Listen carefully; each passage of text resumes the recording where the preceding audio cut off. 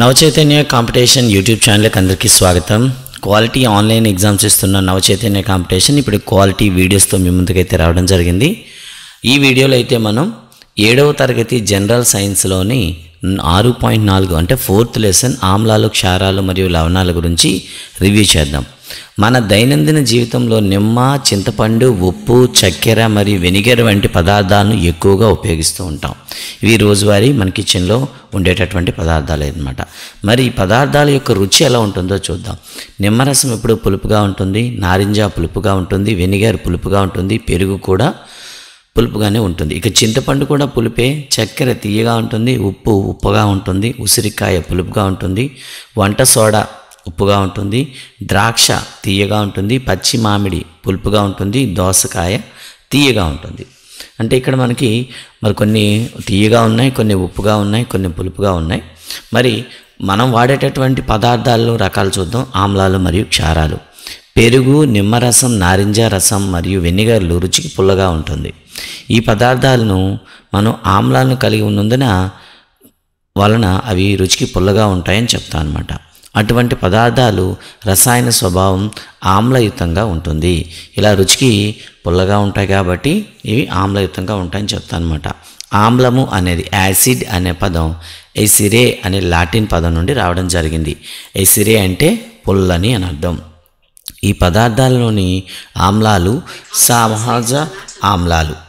Baking soda రుచి పుల్లగా ఉండదు. బేకింగ్ సోడా కానీ మీరు చూసారనుకోండి అది పుల్లగా ఉండదు. ఇందులో ఆమ్లాలు ఉండవని అర్థం. ఇది రుచికి చేదుగా ఉంటుంది. మీరు ఆ పదార్థ ద్రావణాన్ని వేళ్ళ మధ్య రుద్దితే అది జారుగా అనిపిస్తుంది. అంటే మన దీన్ని బట్టి ఏమర్థం అవుతుందంటే క్షారాలు అనేవి జారుడు లక్షణాన్ని కలిగి ఉంటాయి రుచికి చేదుగా ఉంటాయి. సాధారణంగా రుచిలో చేదుగా మరియు తాకినప్పుడు జారుడుగా అనిపించే పదార్థాలను క్షారాలు అంటారు. అటువంటి పదార్థాల స్వభావంని క్షారం అని అంటాం. మనం ప్రతి పదార్థాన్ని రుచి చూడలేం. అప్పుడు దాని స్వభావాన్ని ఎలా కనుగొంటాం? అంటే ప్రతి పదార్థాన్ని మనం నోట్లో వేసి దాని రుచి చూసి అది ఆమ్లమా క్షారమా చెప్పడం అనేది అసాధ్యం. కొన్నిసార్లు విష పదార్థాలు కూడా ఉంటాయి. ఒక పదార్థం ఆమ్లమా లేదా క్షారమా అని పరీక్షించడానికి ప్రత్యేక రకాల పదార్థాలను ఉపయోగించబడతాయి. ఈ పదార్థాలనే మనం సూచికలు అంటారు. ఆమ్ల లేదా క్షార స్వభావం కలిగిన పదార్థ ద్రావణాన్ని కలిపినప్పుడు సూచికలు వాటి రంగును మారుస్తాయి. అంటే వాటి యొక్క రంగును మార్చడం వల్ల అది ఏ రకమైన పదార్థం అని మనం గుర్తించవచ్చు. ఉదాహరణకు పసుపు లిట్మస్ మందార పువ్వు రేకులు మొదలైనవి సహజంగా లభించే కొన్ని సూచికలు అనమాట మరి ఆమ్లము అది లభించే ప్రదేశము చాలా ఇంపార్టెంట్ అండి. ఇది మనకి ఖచ్చితంగా టెట్లోను డిఎస్లోను వచ్చేవి చూసుకోండి ఒకసారి. ఎసిటిక్ ఆమ్లము వెనిగర్లో ఉంటుంది. చీమ కొట్టడం ద్వారా వచ్చేది ఫార్మిక్ ఆమ్లము నిమ్మ నారింజ మొదలగు నిమ్మజాతి పండ్లో ఉండేది సిట్రిక్ ఆమ్లము పెరుగులో ఉండేది లాక్టిక్ ఆమ్లము పాలకూరలో ఉండేది ఆగ్జాలిక్ ఆమ్లము ఉసిరి సిట్రస్ పండ్లో ఉండేది ఆస్కార్బిక్ ఆమ్లము.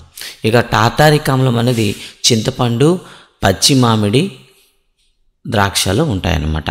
ఇక తర్వాత చూద్దామండి. కాల్షియం హైడ్రాక్సైడ్ నిమ్మరసం ఓకేనండి? క్షారం పేరు అది లభ్యమయ్యే పదం అనమాట సారీ ఇక్కడ చూడండి.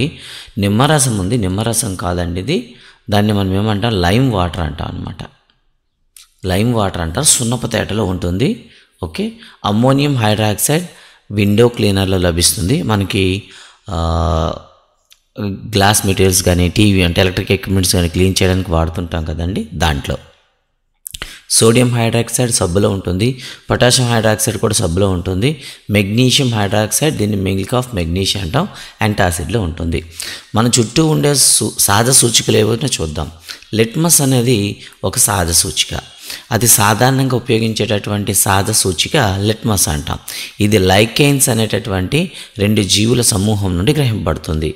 ఇది స్వేదన జలంలో లేత ఊదా పర్పుల్ రంగులో కలిగి ఉంటుంది. ఇది ఇంపార్టెంట్ అండి. చాలా ఇంపార్టెంట్ అనమాట సో లిట్మస్ పదార్థం అనేది స్వచ్ఛమైన నీటిలో ఏ రంగును కలిగి ఉంటుందని అడుగుతాడు ఊదా రంగు అండి. ఓకేనా? పర్పుల్ కలర్లో ఉంటుంది. ఆమ్ల ద్రావణానికి కలిపినప్పుడు అది ఎరుపు రంగులోకి మారుతుంది. క్షార ద్రావణంలో కలిపినప్పుడు అది నీలం రంగులోకి మారుతుంది. ఇది ద్రావణం రూపంలో లేదా లిట్మస్ పేపర్ అని పిలబడే కాగితపు స్ట్రిప్ రూపంలో లభిస్తుంది. సాధారణంగా ఇది మనకు పేపర్ స్ట్రిప్ రూపంలో అయితే లభిస్తూ ఉంటుందన్నమాట. దీన్ని మనం ల్యాబ్లో దీన్ని మనం పొందవచ్చు. ఇది మనకి స్ట్రిప్ రూపంలో లభిస్తూ ఉంటుంది. సాధారణంగా ఇది ఎరుపు మరియు నీలి లిట్మస్ పేపర్గా లభిస్తుంది అనమాట అంటే ఎరుపు లిట్మస్ గాను నీలి లిట్మస్ గాను మనకు లభిస్తుంది. అన్ని పదార్థాలు రుచి చూడరాదు. అవి మనకు హాని కలిగిస్తాయి. ఎరుపు లేదా నీలి లిట్మస్తో రంగు మారిన ద్రావణాలను తటస్థ ద్రావణాలు అంటారు. అంటే ఈ లిట్మస్ పేపర్తో కానీ కలర్ చేంజ్ కాకపోతే వాటిని తటస్థ ద్రావణాలు అంటారు. ఈ పదార్థాలు ఆమ్లాలు కావు లేదా క్షారాలు కూడా కావు. సున్నపు తేటను తయారు చేయడానికి ఒక పాత్రలో కొంత నీటిని తీసుకొని దానిలో కొంత సున్నం కలపండి. ద్రావణాన్ని కదిపి కొంత సమయం పాటు ఉంచండి. తేరిన ద్రావణాన్ని తీసుకోండి. ఇది ఇదే మనకు సున్నపు తేట అంటాం. మరు పసుపు కూడా ఒక రకమైనటువంటి సహజ సూచిక అనమాట ఇప్పుడు పసుపు పైన వివిధ పదార్థాల యొక్క ప్రభావం ఎలా ఉంటుందో చూద్దాం. తెల్ల చొక్కా మీద పసుపు మార్క్ పడితే దాంతో సబ్బుతో కడిగితే అది ఎరుపు రంగులో మారిపోతుంది. ఎందుకు? ఒకసారి చూద్దాం. నిమ్మరసం అనేది ఆమ్లం కాబట్టి తటస్థంగా ఉంటుంది. నారింజ ఆమ్లం వెనిగర్ కూడా మీకు ఆమ్లమే. చక్కెర ఈ మూడు కూడా ఆమ్లాలు కాబట్టి దీంతో మీకు పసుపు అనేది ఎటువంటి చర్య చూపించదు. మిల్క్ ఆఫ్ మెగ్నీషియా వంట సోడా లే సున్నపు తేట ఈ మూడు కూడా క్షార స్వభావాన్ని కలిగి ఉంటాయి కాబట్టి మీకు ఎరుపు రంగునిస్తుంది చక్కెర ద్రావణం అనేది తటస్థ ద్రావణం. సాధారణ ఉప్పు కూడా మీకు తటస్థ ద్రావణం. కాబట్టి తటస్థ ద్రావణాల్లో కానీ ఆమ్లాల్లో కానీ మీకు పసుపు అనేది ఎటువంటి రంగును కూడా ఇవ్వదు. మరి పరీక్ష ద్రావణము ప్రారంభ రంగు అంతిమ రంగు చూద్దామండి ఒకసారి. షాంపూ. ఓకేనా? సో మొదట్లో అది మీకు ఎరుపు రంగు ఇస్తుంది. అది చివరికి మీకు ఆకుపచ్చ అయితే ఇస్తుంది అనమాట తర్వాత చూద్దాం. నిమ్మరసం అలాగే సోడా నీరు సోడియం హైడ్రాక్సైడ్ కార్బోనేట్ ద్రావణం వెనిగర్ చక్కెర ద్రావణం సాధారణ ఉప్పు. ఇవన్నీ కూడా మనకి ప్రారంభంలో ఉండేటటువంటి రంగులు అయితే ఇవ్వడం అయితే జరిగింది. ఇక్కడ ముదురు గులాబీ రంగు కూడాను మనకి వెనిగర్తో ఇవ్వడం అయితే జరుగుతుందన్నమాట. ఓకే? రైట్. ఇక అంటే మందార పువ్వు సూచిక ఆమ్ల ద్రావణాలతో ముదురు గులాబీ రంగును అదేవిధంగా క్షార ద్రావణాలతో ఆకుపచ్చ రంగును ఇస్తుంది. అంటే ఇక్కడ మనం తీసుకోవాల్సిన ద్రావణం ఏంటంటే మందార పువ్వు యొక్క సూచిక అనమాట అంటే మందార పువ్వు రేకుల నుండి మనం తీసుకొని షాంపూతో టెస్ట్ చేస్తే ప్రారంభంలో ఎరుపులో ఉంటుంది చివరికి ఆకుపచ్చలో మారుతుందన్నమాట. కాఫీ గోధుమ రంగులో ఉంటుంది మరియు రుచికి చేదుగా ఉంటుంది. ఇది అమ్మ క్షారమా? అంటే కాఫీ మీకు ఆమ్లం అనమాట పిహెచ్ విలువ నాలుగు పాయింట్ ఎనిమిది ఐదు నుండి ఐదు పాయింట్ ఒకటి సున్నా వరకు ఉంటుంది. మరి ఆమ్ల వర్షాలు అంటే ఏమిటి? ఎక్కువ ఆమ్లములు కలిగినటువంటి వర్షాన్ని ఆమ్ల వర్షం అంటాం. అంటే వర్షం నీరు కానీ ఆమ్ల లక్షణాన్ని కానీ కలిగి ఉంటే అటువంటి వర్షాన్ని మనం ఆమ్ల వర్షాలు అంటాం. వర్షం ఆమ్లయుతంగా మారుతుంది ఎందుకంటే గాలిలోని కార్బన్ డైఆక్సైడ్ సల్ఫర్ డైఆక్సైడ్ మరియు నైట్రోజన్ డైఆక్సైడ్లు ఇవి కాలుష్యకారకాలే కాబట్టి ఇవి వర్షం చుక్కలతో వర్షపు చుక్కల నీటిలో కరిగిపోయి వరుసగా మీకు కార్బోనిక్ ఆమ్లం సల్ఫ్యూరిక్ ఆమ్లం నైట్రిక్ ఆమ్లాలను ఏర్పరుస్తాయి. ఇవి వర్షపు నీటిలో కరిగిపోయి మనకి ఆమ్లాలుగా మారిపోతాయి అన్నమాట ఆమ్ల వర్షం భవనాలు చారిత్రక కట్టడాలు మొక్కలు మరియు జంతువులకు నష్టం కలిగిస్తాయి. ప్రయోగశాలలో ఆమ్లాలు క్షారాలను ఉపయోగించేటప్పుడు చాలా జాగ్రత్త తీసుకోవాలి. ఎందుకంటే ఇవి క్షయం చెందించే స్వభావాన్ని కలిగి ఉంటాయి. చికాకును మరియు చర్మానికి హాని కలిగిస్తాయి. అంటే ప్రమాదకరంగా ఉంటాయి. పదార్థాలు తొందరగా నాశనం చేస్తాయి. మరి తటస్థీకరణం అంటే ఏమిటి? ఆమ్లాలు నీలి ఎట్మస్ను ఎరుపు రంగులోకి మారు ఎరుపు రంగులోకి మరియు క్షారాలను ఎరుపు లిట్మస్ నుండి నీలి నీలి రంగులోకి మారుస్తాయి. లిట్మస్ అనేది ఆమ్లాన్ని బ్లూ నుండి రెడ్లోకి మారిస్తే క్షారం అనేది రెడ్ నుండి నీలం రంగులోకి మారుస్తుంది. పరీక్షణాలకు నాలుగో వంతు సజల హైడ్రోలిక్ ఆమ్లం తీసుకొని ఆ ఆమ్లానికి రెండు లేదా మూడు చుక్కల ఫినాప్తలిన్ ద్రావణాన్ని కలపాలి. ఈ పరీక్ష నాలుగులో సోడియం హైడ్రాక్సైడ్ ద్రావణం చుక్కలు చుక్కలుగా కలపాలి. అప్పుడు మొదట్లో మనకి గులాబీ రంగు కనపడే వరకు ఈ చుక్కలు వేస్తూనే ఉండాలన్నమాట. అంటే ద్రావణం గులాబీ రంగుకు మారాక మరో చుక్క సజల హైడ్రోక్లోరిక్ ఆమ్లంను కలిపితే ద్రావణంలో మళ్ళీ రంగు లేనిదిగా మారుతుంది. అంటే మీకు ఫీనాప్తలీన్ అనేది మీకు ఆమ్లాల్లో వేస్తే ఎటువంటి రంగు ఉండదు. కానీ దానికి క్షారం కలపామనుకోండి నెమ్మదిగా ఏమవుతుందంటే గులాబీ రంగును సంతరించుకుంటుంది. మళ్ళీ పూర్తిగా గులాబీ రంగు వచ్చిన తర్వాత మళ్ళీ రెండు చుక్కలు మీరు సదల హైడ్రోక్లోరిక్ ఆమ్లం వేస్తే మళ్ళీ ఆ గులాబీ రంగు పోయి మళ్ళీ సాధారణంగా మారుతుందన్నమాట. అంటే మళ్ళీ ఒక చుక్క సోడియం హైడ్రాక్సైడ్ ద్రావణం కలిపితే మళ్ళీ గులాబీ రంగులోకి వస్తుంది. అంటే సోడియం హైడ్రాక్సైడ్తో గులాబీ రంగుని ఇస్తుందన్నమాట. అంటే దీన్ని బట్టి ద్రావణం క్షారయుతంగా ఉన్నప్పుడు ఫినాప్తిలిన్ గులాబీ రంగులో ఇస్తుంది. మరోవైపు ద్రావణం ఆమ్లయుతంగా ఉండేటప్పుడు రంగు లేనిదిగా ఉంటుంది. కాబట్టి ఫిలాప్తిలిన్ అనేది ఆమ్లాలతో రంగు ఉండదు క్షారాలతో పింక్ ఆర్ గులాబీ రంగులోకి మారుతుంది. ఒక ఆమ్ల ద్రావణాన్ని క్షార ద్రావణంతో కలిపినప్పుడు రెండు ద్రావణాలు ఒకదానికొకటి వాటి ప్రభావాన్ని తటస్థీకరిస్తాయి. ఆమ్ల ద్రావణము మరియు క్షార ద్రావణాన్ని తగిన మొత్తంలో కలిపినప్పుడు ఆమ్లం యొక్క ఆమ్ల స్వభావము మరియు క్షారం యొక్క క్షార స్వభావము రెండూ కోల్పోతాయి. ఫలితంగా ఏర్పడే ద్రావణం ఆమ్లం కాదు క్షారం కాదు. అంటే తటస్థంగా ఉంటుందన్నమాట. తటస్థీకరణం ప్రతిచర్యలో వేడి ఎల్లప్పుడూ ఉత్పత్తి అవుతుంది. ఉద్భవించిన ఉష్ణం మిశ్రమం యొక్క ఉష్ణోగ్రతను పెంచుతుంది. అంటే ఆమ్లాలను క్షారాలు మీరు తటస్థీకరణంలో వాడేటప్పుడు ఉష్ణం అనేది విడుదలవుతుందనమాట తటస్థీకరణం చర్యలో ఒక పద కొత్త పదార్థం ఏర్పడుతుంది. దీన్నే మనం లవణం అంటాం. లవణం స్వభావం ఆమ్లయుతంగా క్షారయుతంగా లేదా తటస్థంగా ఉండొచ్చు. అయితే ఆమ్లం మరియు క్షారాల మధ్య జరిగే చర్యనే తటస్థీకరణ చర్య అంటారు. అంటే ఒక ఆమ్లానికి ఒక క్షారానికి మధ్య చర్య జరిగితే ఆ చర్యను మనం తటస్థీకరణం అంటాం. ఇందులో లవణము నీరు ఉష్ణము విడుదలవుతాయి. తటస్థీకరణ చర్యలో ఏర్పడే ఉత్పన్నాలు ఏవంటే లవణము నీరు ఉష్ణం అనమాట ఒక ఆమ్లము ప్లస్ కారము కలిపినట్లయితే మీకు లవణము నీరుతో పాటు ఉష్ణం విడుదలవుతుంది. ఒక చర్య చూద్దాం. హెచ్సిఎల్కి మనం ఎన్ఏహెచ్ అని కలిపినట్లయితే NaCl plus H two O ఏర్పడుతుంది. ఇది ఒక ఉష్ణం విడుదల చేసేటటువంటి చర్య మరి సదర సల్ఫ్యూరిక్ ఆమ్లంకు సున్నపు నీటిని కలపాలి. ఈ చర్యలో మిశ్రమం వేడిగా ఉంటుందా లేదా చల్లగా ఉంటుందా? అంటే మనకు వేడిగానే ఉంటుందన్నమాట. నిత్య జీవితంలో కొన్ని యొక్క ఆమ్లాల క్షారాల యొక్క అనువర్తనాలు చూద్దాం. ఫస్ట్ వన్ అజీర్తి. మన జీర్ణాశయంలో హైడ్రోక్లోరిక్ ఆమ్లం ఉంటుంది. ఇది ఆహారాన్ని జీర్ణం చేయడానికి సహాయపడుతుంది. కానీ జీర్ణాశయంలో ఆమ్లం ఎక్కువగా ఉంటే అది అజీర్ణానికి కారణమవుతుంది. కొన్నిసార్లు అజీర్తి బాధాకరంగా ఉంటుంది. అజీర్తి నుండి ఉపశమనం పొందడానికి మనం మెగ్నీషియం హైడ్రాక్సైడ్ని కలిగి ఉన్న మిల్క్ ఆఫ్ మెగ్నీషియం వంటి ఎంటాసిడ్ పదార్థాలను తీసుకుంటాం. ఇది అధిక ఆమ్ల ప్రభావాన్ని తటస్థీకరిస్తుంది. ఎప్పుడైతే ఆమ్లం ఎక్కువైపోయిందో మన శరీరంలో ఏమవుతుంది? ఆమ్ల ప్రభావం పెరుగుతుంది. దానివల్ల మనకి ఏం నష్టం వస్తుందంటే కడుపులో చిన్న పెయిన్ వస్తుంది అనమాట మంటలా వచ్చి పెయిన్ వస్తుంది. ఆమ్లత్వాన్ని తగ్గించడానికి మనం ఏం చేస్తాము? యాంటాసిడ్లు వాడతాము. అందులో మనకి మిగ్ మిల్క్ ఆఫ్ మెగ్నీషియా ముఖ్యంగా సోడియం మెగ్నీషియం హైడ్రాక్సైడ్ ఉంటుంది.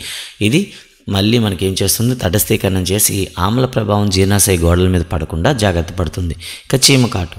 చీమ కుట్టినప్పుడు అది ఆమ్ల ద్రవాన్ని అంటే ఒక ఫార్మిక్ ఆమ్లాన్ని చర్మంలోకి పంపిస్తుంది అనమాట మన చర్యలోకి పంపించగానే తేమతో అంటే ఇప్పుడు మనకు విపరీతమైనటువంటి పెయిన్ వస్తుంది. అది చీమ కుట్టినప్పుడు నొప్పి వస్తుంది. తేమతో కూడిన బేకింగ్ సోడా లేదా సోడియం హైడ్రాక్సైడ్ కార్బోనేట్ లేదా కాలమైన్ జింక్ కార్బోనేట్ అంటారు. ద్రావణాన్ని రుద్దడం ద్వారా ఆమ్ల ప్రభావాన్ని తటస్థీకరించవచ్చు ఫలితంగా చీమ నొప్పి తగ్గించవచ్చు. ఇంకా మృత్తికా చికిత్స. మితిమీరిన రసాయనిక ఎరువులు వాడడం వల్ల నేల ఆమ్లయుతంగా మారిపోతుంది ముఖ్యంగా. నేల చాలా ఆమ్లయుతంగా లేదా చాలా క్షారయుతంగా ఉన్నప్పుడు మొక్కలు బాగా పెరగవు. నేల చాలా ఆమ్లయుతంగా ఉన్నప్పుడు దానికి పొడి సున్నం అంటే కాల్షియం హైడ్రాక్సైడ్ లేదా తడి సున్నం కాల్షియం హైడ్రాక్సైడ్ వంటి క్షారాలను కలిపి చికిత్స చేస్తారు. అంటే ఆ నేలపై చల్లి ఆ నేల యొక్క క్షారత్వాన్ని స్థిరీకరించడానికి ప్రయత్నిస్తారు. నేల క్షారయుతంగా ఉంటే సేంద్రియ పదార్థం దానికి కలపబడుతుంది. సేంద్రియ పదార్థాలు ఆమ్లాలను విడుదల చేస్తాయి. ఇది నేల యొక్క క్షార స్వభావాన్ని తటస్థీకరిస్తుంది. అంటే సేంద్రియ ఎరువులు వేయడం ద్వారా కూడా నేల యొక్క లక్షణాన్ని మనం మార్చవచ్చు. ఫ్యాక్టరీల వ్యర్థాలు. అనేక కర్మాగారాల వ్యర్థాలలో ఆమ్లాలు ఉంటాయి వాటిని నీటి వనరుతో వనరులతో వనరులు ప్రసరింపజేస్తే ఆ వ్యర్థాలలోని ఆమ్లాలు చేపలు మరియు ఇతర జీవులను చంపుతాయి. ఫ్యాక్టరీ వ్యర్థాలను క్షారాలను కలపడం ద్వారా తటస్థీకరించబడతాయి. కిటికీలను శుభ్రం చేసేటటువంటి ద్రావణాల్లో మనకి అమ్మోనియం హైడ్రాక్సైడ్ అంటూ ఉంటుందన్నమాట. అనేక గృహోపకరణాల్లో అమ్మోనియా ఉంటుంది. ఇది ఎరుము లిట్మస్ని నీలం లిట్మస్లోకి మారుస్తుంది. సో ఇది ఒక క్షారం అని తెలుస్తుంది. ఇక కొన్ని అభ్యాసాలు అయితే ఇవ్వడం జరిగింది. లిట్మస్ ద్రావణాన్ని దేని నుండి సంగ్రహిస్తారు? లిట్మస్ యొక్క ఉపయోగం ఏంటి? లిట్మస్ను లైకెన్స్ నుండి సంగ్రహిస్తారు. ఇది ఆమ్లాన్ని కానీ క్షారాన్ని కానీ స్వభావాన్ని తెలియ తెలియపరచడానికి సహకరిస్తుంది. స్వేదన జలం ఆమ్లమా క్షారమా తటస్థమా? క్షారద అంటే మనకి ఆమ్లం అంటే స్వేదజనం అంటేనే తటస్థ ఆ ద్రావణం అని పిలుస్తాం. ఇది ఇటువంటి లిట్మస్ పేపర్లను కూడా రంగు మార్చదు. క్రింది ప్రవచనాల్లో ఒకటి ఒకటి ఉప్పైన ఉప్పైనచ్చు టీ అనేది చూడండి ఒకసారి. ఉప్పు అయితే టీ అని గుర్తించండి తప్పు అయినట్లయితే ఎఫ్ అని గుర్తించండి అన్నారు నైట్రిక్ ఆమ్లం ఎరుపు లిట్మస్ను నీలంగా మారుస్తుంది. ఫాల్స్ అండి. సో యాసిడ్ కాబట్టి నీలంది రెడ్గా మారుతుంది. సోడియం హైడ్రాక్సైడ్ నీలంని ఆ, నీలంని రెడ్గా మారుస్తుంది. ఇది కూడా తప్పేనండి. సోడియం హైడ్రాక్సైడ్ మరియు నైట్రో హైడ్రోక్లో హైడ్రోక్లోరిక్ ఆమ్లం ఒకదానికొకటి తటస్థీకరిస్తాయి. కరెక్టేనండి. ఒకటి యాసిడ్ ఒకటి బేసు ఒకటి యాసిడ్ కాబట్టి రెండు మధ్య చర్య జరుగుతుంది. ఓకేనా? నీరు లవణం ఏర్పడతాయి. ఒప్పండి. ఇక తర్వాత చూద్దాం. సూచిక అనేది ఆమ్ల ఆమ్లము మరియు క్షార ద్రావణాలు ఒకే విధంగా రంగు చూపుతుంది. తప్పండి. రెండు విభిన్న రంగుల్ని మీకు ఇస్తుందన్నమాట క్షారం క్షారం వల్ల దంతక్షయం ఏర్పడుతుంది. ఓకేనండి. అతిమీరిన మితిమీరిన క్షారమైనా సరే ఆమ్లమైనా సరే దంతాలను పాడు చేస్తాయి. యాసిడితో బాధపడుతున్నటువంటి యాసిడ్ ఎంటాసిడ్ టాబ్లెట్ తీసుకుంటారు. అంటే ఎసిడి ఎసిడిటీతో బాధపడేవారు ఆ తమ నొప్పి నుండి ఉపశమనం కోసం వాడే రసాయనాన్ని యాంటాసిడ్ అంటారు. చీమ కుట్టినప్పుడు చర్మంపై కాలమైన ద్రావణాన్ని పూరిస్తుంది. అదే చీమ కుట్టినప్పుడు మనకేమవుతుందంటే కాలమైన్ అనే ఒక ద్రావణాన్ని మన శరీరంలో విడుదల చేస్తుంది. ఫ్యాక్టరీలో ఫ్యాక్టరీ వ్యర్థాలను నీటిలో నీటిలోకి పారివేసే ముందు తటస్థీకరించబడుతుంది. అంటే పారిశ్రమ నుండి వచ్చే వ్యర్థాన్ని మొదట మనం ఏం చేయాలి? తటస్థీకరించి తర్వాత నీటి వనరులో కలపాలి. క్రింది వాక్యాలు ఏది సరైనది? మళ్ళీ ఇచ్చాడండి ఆమ్లాలు మరియు క్షారాలు రెండు ఒకే సూచికల రంగును మారుస్తాయి. ఓకేనా? చూడండి ఇది ఒప్ప తప్ప. ఓకే? Next one. ఇది మనకి తప్పండి. ఒక సూచిక ఆమ్లంలో రంగు మార్పును ఇస్తే అది క్షారంతో మార్పు ఇవ్వదు. తప్పండి. సూచిక క్షారంతో రంగును మార్చినట్లు అది ఆమ్లంతో రంగు మార్చును. తప్పండి. ఆమ్లము మరియు క్షారాలలో రంగు మార్పు సూచిక రకంపై ఆధారపడి ఉంటుంది. ఇది కరెక్ట్ అండి. ఇక తర్వాత మీకు తెలుసని ఇచ్చాడు మన శరీరంలో ప్రతి కణంలో ఒక ఆమ్లము డిఆక్సీ రైబోన్యూక్లిక్ ఆమ్లము లేదా డిఎన్ఏ ఉంటుంది. ఇది మన శరీర రూపం కళ్ళు రంగు ఎత్తు బరువు మొదలైన శారీరక శరీరంలోని ప్రతి లక్షణాన్ని నియంత్రిస్తుంది. మన శరీరంలో కొంత భాగాల్ని నియంత్రించే ప్రోటీన్లు కూడా ఎమైన్ ఆమ్లాల్లో తయారవుతాయి. మన శరీరాన్ని కొవ్వులలో కొవ్వు ఆమ్లాలు ఉంటాయి. ఇది మనకి ఇచ్చినటువంటి మొత్తం పాఠ్యాంశం. ఈ వీడియో పైన మీ అభిప్రాయాలు కానీ సలహాలు కానీ సూచనలు కానీ కింద కామెంట్స్ రూపంలో ఇవ్వండి. అదేవిధంగా మా ప్రయత్నం నచ్చినట్లయితే ఛానల్ని సబ్స్క్రైబ్ చేసి మీ మిత్రులందరికీ కూడా షేర్ చేయండి. Thank you. Thank you very much.